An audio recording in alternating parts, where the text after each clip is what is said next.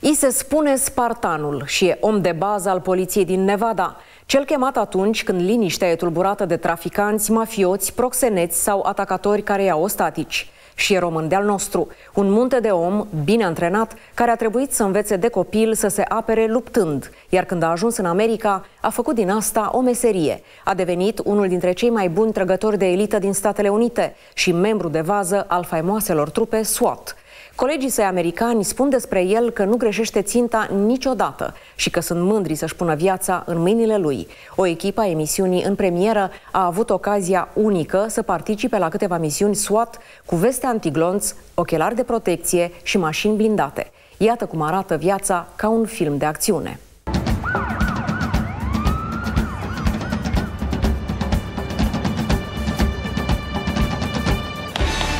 Las Vegas, cel mai mare oraș din statul Nevada, una dintre cele mai cunoscute destinații turistice din toată lumea, un uriaș parc de distracții pentru oameni mari, paradisul jocurilor de noroc, orașul păcatelor și al tuturor tentațiilor, locul în care nimeni nu doarme pentru că aici se spune cine doarme pierde timp și bani. Un amestec ciudat de vacanță perpetuă și rutină zilnică în care aceste două lumi se întâlnesc rare ori. Și e mult mai bine așa, pentru că Vegas are una dintre cele mai mari rate ale criminalității din toată America, doar că vizitatorii de ocazie nu simt asta și n-au habar că în umbra orașului, în spatele reclamelor luminoase, cineva are întotdeauna grijă de ei.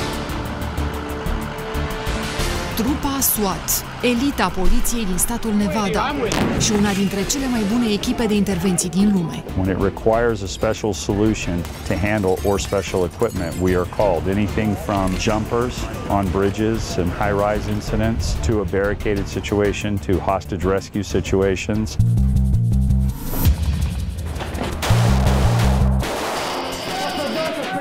Acesta este doar unul dintre multele antrenamente zilnice ale membrilor SWAT și se fac nu pentru că așa sunt ordinele, ci pentru că sunt absolut necesare. Până și în timpul antrenamentelor se folosesc explozibili și gloanțe adevărate. Chiar dacă inamicul e doar un tip încruntat desenat pe o bucată de carton, trăgătorii se comportă ca și cum pericolul ar fi real. Mi s-a spus că un număr neștiu de teroriști au luat casa asta și au doi ostateci. Primul ostatec și al doilea ostatec a fost un tată cu copil. Cum s-a deschis ușa, am început să trag în el, lovituri în gât, în cap, era mort din prima, n-a putea să facă nimica. Remarcați trăsăturile de rus și accentul americano-ardelenesc ale personajului din imagine. În trupul acesta, cu mai mulți mușchi decât prevede manualul de anatomie, se ascunde un suflet mare de român. Așa zice el și nu e bine să-l contrazici. Se numește Ciprian Arcălean, are 47 de ani și e născut în București. Dar lui îi place să spună că e brașovean pentru că acolo a crescut. Și acum e trecător de elită în trupa SWAT a Poliției Metropolitane Nevada.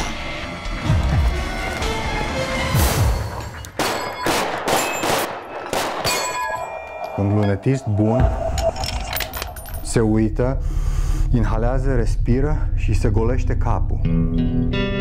El doar știe că crucea aia de la lunetă trebuie să stea pe țintă nemișcată. Și nici nu-și dă seama când a apăsat pe trăgaci. Când glonțul iese, te surprinde. Totul se întâmplă într-o fracțiune de secundă. În jur se aud doar șuieratul gloanțelor prin aer și respirația lui sacadată între două rafale. E încordat, concentrat și atent la fiecare detaliu.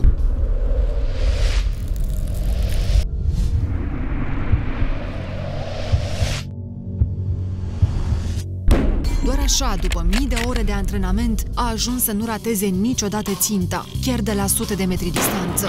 Iar gloanțele lui scot invariabil din cursă orice infractor, pentru că el știe exact unde să țintească. Dacă lovești în ochi, moare mai repede decât dacă lovești la baza nasului, că e țesut mai moale, se duce direct din not, lovește creierul, moare pe loc. Nici măcar n-apucă să apese trăgaciul.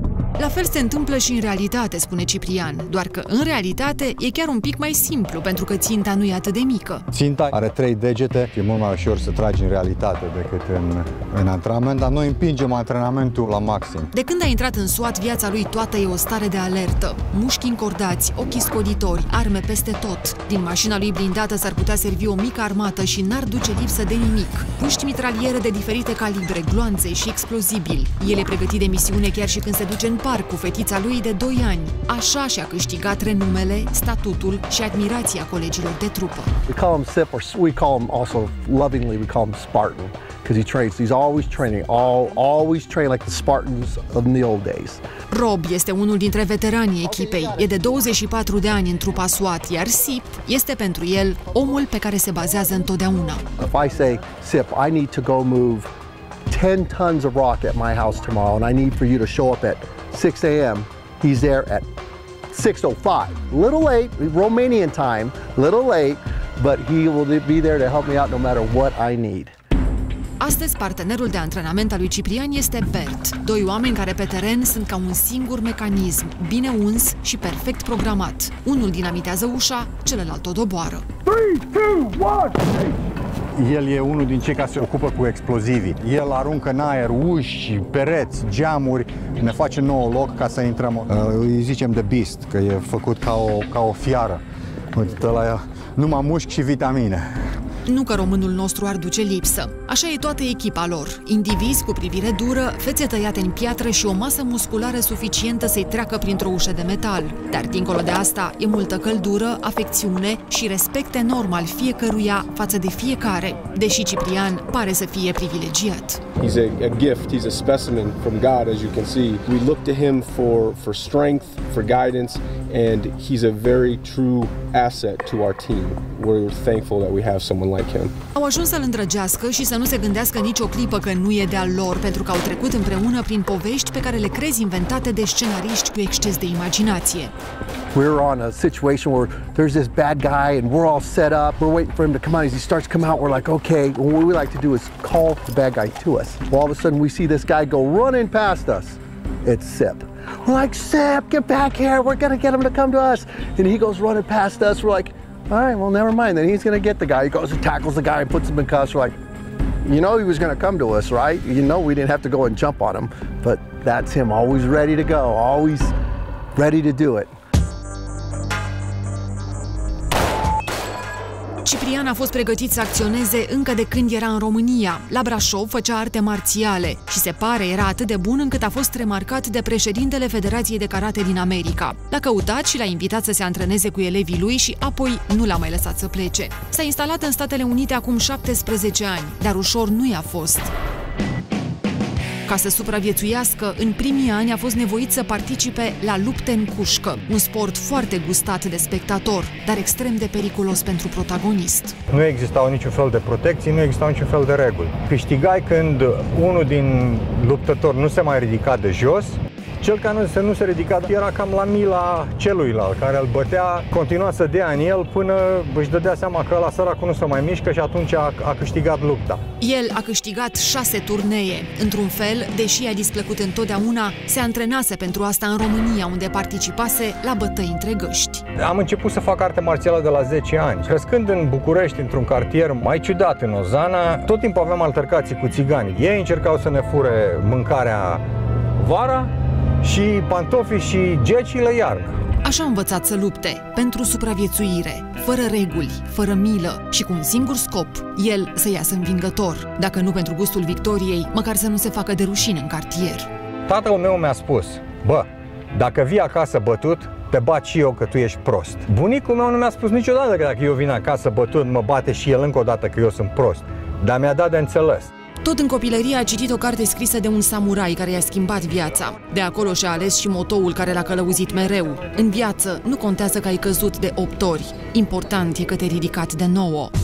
El s-a ridicat de fiecare dată, iar când a ajuns în America a descoperit că îi folosește și experiența de pe străzile Brașovului și motoul după care se ghida. Forța fizică și aptitudinile l-au ajutat să facă una dintre cele mai respectate meserii pe acest continent, aceea de polițist, și nu la orice nivel. Aici notele sunt de la 1 la 4 și când ai 4 pe linie, ești pe din list. Eu am graduat facultatea într-un an jumate, facultate de 4 ani și tot timpul cât am fost în facultate am fost pe, pe din list. Încercând să recupereze parcă timpul pierdut, a terminat cu cele mai bune calificative și în cel mai scurt timp toate cursurile posibile. Are atestat de trăgător de elită dat de FBI, specializare în muniție chimică, arme cu lunetă, arme de precizie, tactici cu pistolul și, peste toate, o diplomă care îi dă dreptul să facă parte din trupa care îl apără pe însuși președintele Americii. Noi îl protejăm pe președinte când vine aici, suntem parte din uh, Counter Sniper Team, deci suntem, ne uităm după alți sniperi care ar vrea să atace președintele. Șeful lui de acum l-a remarcat încă de pe băncile școlii, simțindu-i imediat talentul.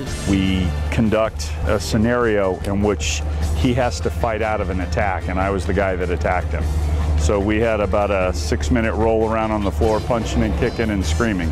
Nu vrea să ne spună cine a câștigat în final. Cert e însă că acea luptă a fost decisivă în alegerea lui Ciprian în trupa de elită SWAT și implicit în modul care i s-a construit viața. 24 de ore din 24 în slujba unui oraș pe care a ajuns să-l apere de parcă i-ar aparține. Chiar acum își conduce relaxat mașina blindată, îndreptându-se spre o misiune. E una dintre acele zile proaste pentru băieții răi, care habar nu au ce așteaptă. Acum mergem uh, să servim un mandat de percheziție pentru detectivii din narcotice. Un individ sau mai mulți au uh, închiriat o casă și au transformat-o în uh, cultură de marihuana. În parcare, toți băieții duri din SWAT își pregătesc armele în funcție de rolul pe care îl vor avea de jucat în această misiune. Misiunea mea este să protejez echipa de orice tret care ar veni din casă, dacă cineva apare la geam sau la balcoane sau la uși și încearcă să tragă în ei. Sunt atât de calmi încât ai impresia că e o repetiție pentru o scenă de Hollywood. Poate ca să nu ne sperie pe noi. Ne spun însă cu zâmbetul pe buze că va trebui să purtăm veste antiglonț. Nu ne ascund că e periculos, dar ne asigură că dacă suntem cu ei nu pățim nimic. Și fără nicio reținere, ne arată chiar armele cu care vor acționa. When we get into a, a barricade situation, and let's say someone's inside their home and they don't want to come out. Before we go right to the gas, we'll use these wood batons to break the windows. And the whole purpose of using gas, and it's CS gas, is that we want them to come out safely to us. Kevin este specialistul în arme cu gaz și dinamită. Rucsacul lui e un mic arsenal pe care îl va folosi dacă va fi nevoie. We don't want this projectile to hit someone. This is going really fast. What that does is when we shoot a couple of these in a window, it breaks on the ceiling ideally, and the CS uh, particulates will fill the room, and they'll start causing your eyes to really burn and water. Your nose will get kind of stuffed up, and you'll want to seek some fresh air, and that's what we want them to do, is they come out to us. Dar nu se întâmplă asta mereu. Uneori, tabăra adversă opune rezistență și e gata de gesturi disperate, iar cei din trupă nu văd totul, n-au timp să se uite în jur. Aici intervine Ciprian, omul care are grijă de toți, mereu în spatele lor, mereu atent, mereu cu degetul pe trăgaci, gata să-și apere camarazii. I know that Cyprian is over my shoulder uh, as a sniper protecting me. Because at the end of the day, when that call comes that we have to make entry, and that suspect comes out with a firearm, I know that I have very much confidence in Cyprian because of his background. I've seen what he does, I've seen how he trains, I've seen his mindset, and I've seen how he shoots. I trust that. Our lives are in their hands. Sip. Hmm. Let's see. Uh, Sip is a, is, a, is a really good guy. Uh, Sip is the guy who he'll give you the shirt off his back, but he's also a guy like me. Um, I like to pick on Sip. First of all, because I'm a lot smaller than he is, and so I like to poke at him. I call him Count Dracula or Chocula. That's really all I really know about Romania is that Count, you know, Dracula's from there. Um, so we make fun of Sip, but he, he makes fun. He calls us stupid Americans. We, we, you know, we call him a goat herder. Așa e în trupa lor. Sunt mai mult decât frați. I-au legat misiunile, momentele de pericol maxim, în care neatenția unuia poate însemna sfârșitul multora. Și i-a mai legat ceva. Zilele acelea în care ai nevoie de un prieten căruia să-i spui cât de greu ți-a fost să apeși pe trăgaci și cum a trebuit să te lupți cu tine pentru a lua decizia bună. In the one case that I'm thinking of, a female who's got her baby with a knife and she's threatening to kill that baby and there's really no threat to you personally, but you might have to shoot this, this woman and to save that baby's life. That's probably the hardest part about this job. Dar are și părțile ei bune. Atunci când sunt chemați în misiune, ei știu că sunt singurii care pot salva situația. When the SWAT team comes to your house, this is a bad day. Azi e una din acele zile. La ușa cuiva va bate echipa SWAT. Membrii ei s-au împărțit în două grupe și au plecat pe drumuri diferite să ia casa prin învăluire. Ne îndreptăm spre un loc necunoscut într-o mașină blindată până într-un cartier de la marginea orașului. Ciprian, sniperul, are doar capul și mitraliera scoase prin la mașinii. E deja în alertă. Cele două grupe ajung în fața casei în același timp într-o coordonare perfectă, la secundă. Anyone inside 8208 Shaded Arbors. This is the Las Vegas Metropolitan Police Department SWAT team. We have a search warrant for the residence. We have the house surrounded. We're not going away. Din casă nu iese nimeni, doar la o fereastră jaluzelele se mișcă brusc și apare un câine. Polițiștii sesizează pericolul. E foarte posibil ca stăpânul animalului să fie și el înăuntru. Pe tot parcursul misiunii vom rămâne în această mașină din motive de securitate, chiar dacă este o mașină blindată și purtăm uh, veste antiglonț, pericolul există. De foarte multe ori s-a întâmplat ca infractorii care se află în locuință să folosească armele blindovare încercând să se apere. Ciprian e atent la orice mișcare, deși misiunea a fost atât de bine pregătită încât n-are ce să ia prin surprindere. Suspectul a fost supravegheat luni de zile, la fel și locuința. Polițiștii au planul casei și știu cum trebuie să se orienteze în interior. În pereții clădirii au fost montate cu ceva vreme în urmă camere de supraveghere minuscule. Nici după al treilea avertisment din casă nu iese nimeni. Acum sunt gata să intre în forță. Doar când zona e considerată sigură, Ciprian ne face semn că putem coborâ din mașină. Misiunea lui a fost foarte simplă azi. Acum în casă intră polițiștii de la narcotice care au misiunea să decontamineze toate încăperile și să distrugă cultura de marihuana. Câteva minute mai târziu, suspectul e arestat la două străzi distanță. În cartier e din nou liniște.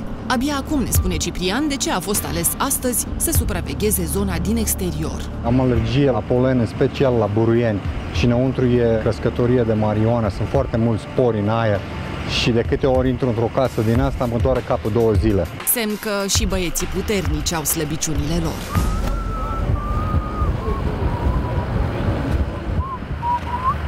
E finalul unei misiuni reușite, dar nu și al zilei. Echipa tocmai a fost anunțată că pe înserat trebuie să intervină în altă parte a orașului.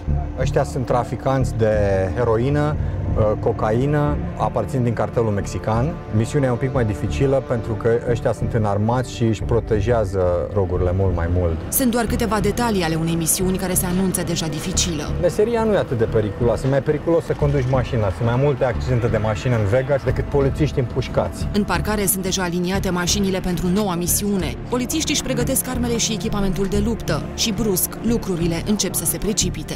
Ai Cristi, de data asta trebuie să spui vesta asta. Asta are plăci care opresc gloanțele de pușcă mitralieră. Ăștia sunt uh-huh. armați cu mitraliere, sunt din cartel.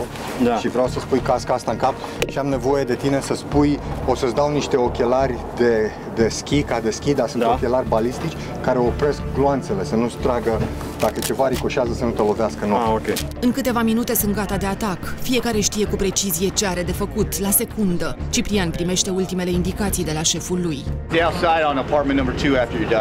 Okay. În aer plutește tensiunea, dar ei fac totul cu relaxare și siguranță, glumind chiar. We do a lot of these and uh, we train a lot, so uh-huh. um, no. It's fine, yeah. Just ready for lunch. Oh, okay. Come on, Sip, this is your big Hollywood moment. Don't mess it up. Mașinile pornesc cu viteză redusă, pierzându-se parcă în întunericul străzii. E beznă, dar ei știu cu ochii închiși traseul și se dirigează unul pe altul prin stații ca să ajungă la locul stabilit în același moment. Police Department, search warrant for number three! Search warrant! I'm with you, I'm with you. În mai puțin de un minut scot deja afară o femeie cu mâinile legate și pe rând toți suspecții. În parcare au fost identificați și complicii lor. Ăștia toți sunt în, toți sunt în legătură. Niciunul nu a avut timp să fugă sau să folosească armele. Rețeaua de traficanți a fost arestată, iar drogurile confiscate. Vezi cum trămuraia de la droguri?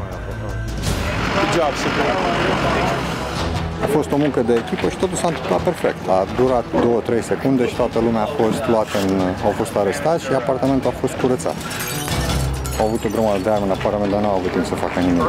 Viteză, surpriză și violență de acțiune. Asta e secretul oricei misiuni. Totul s-a întâmplat exact așa cum văzusem până acum doar în filme și până nu vezi cu ochii tăi îți vine să spui că în scenarii se exagerează puțin. Cunoscându-l pe Ciprian am înțeles însă că până și supereroii în care îți place să crezi, deși știi că nu există, s-au inspirat de undeva.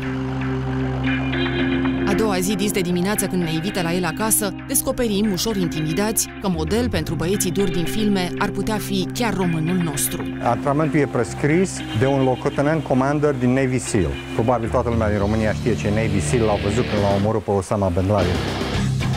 Aici, în grădina din spatele casei, Ciprian își petrece ceea ce el pretinde a fi timpul lui liber. În acest loc, amenajat ca un poligon de instrucție, se antrenează 2-3 ore pe zi, la intensitate maximă și fără oprire, ca un spartan. De obicei fac antrenament cu proteza. Proteza te face să respiri mai greu, simulează antrenamentul la altitudine. Asta pentru că sunt din Transilvania. Încălzirea înseamnă ridicarea unui sac de 50 de kilograme. Forța brațelor și-o testează pe un manechin plin cu nisip care are 80 de kilograme și abia pe urmă trece la antrenamentul propriu-zis, ridicând, fără prea mare efort, haltere de 150 de kilograme. Fiecare fibra mușchilor vibrează. Așa e fiecare zi din viața lui, un permanent antrenament, o permanentă luptă cu infractorii, dar în primul rând cu el însuși. Ai spune că e suficient de puternic ca să dărâme munții, dar el nu e genul care să se mulțumească doar cu atât. A plecat din România cu o valiză și un pachet de mușchi bine antrenați. A ajuns în America și a devenit o verigă importantă în ceea ce înseamnă liniștea și siguranța unui oraș. Și pentru asta, el îi rămâne recunoscător țării din care a plecat, pentru că acolo a învățat ce înseamnă să strângi din dinți, să lupți pentru tot ce ai și să supraviețuiești.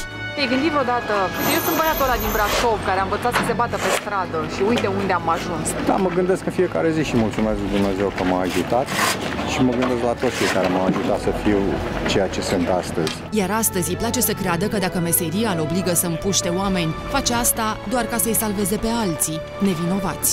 Un doctor nu se poate apăra de derbedei, de nenorociți, de gangster. Mie mi-a dat Dumnezeu puterea și talentul să fac lucrul ăsta, lui a dat Dumnezeu talentul și puterea să salveze oameni și să salveze vieți. Amândoi salvăm vieți, dar într-un mod diferit. Și de fiecare dată când privește de la volanul mașinii sale blindate tumultul orașului, o face cu detașare, mulțumit că dacă azi e liniște și bine pe străzi, este un pic și datorită lui. El, sniperul cu privire de vulturi și mușchi de oțel, pe care nu o să-l vedeți niciodată dacă ajungeți în Las Vegas, dar pentru liniștea dumneavoastră să știți că e mereu acolo.